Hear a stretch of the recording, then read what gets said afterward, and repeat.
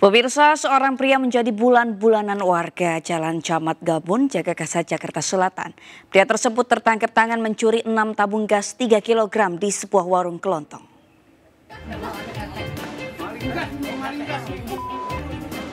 Seorang pria melakukan pencurian 6 tabung gas 3 kg babak belur dihajar warga Jalan Camat Gabung Jagakarsa, Jakarta Selatan. Pelaku yang beraksi hanya seorang diri, nekat beraksi setelah melihat kondisi wilayah yang sepi dan pemilik warung tengah tertidur. Namun naas, saat berusaha menyalakan motor, pemilik warung terbangun dan langsung menangkap pelaku.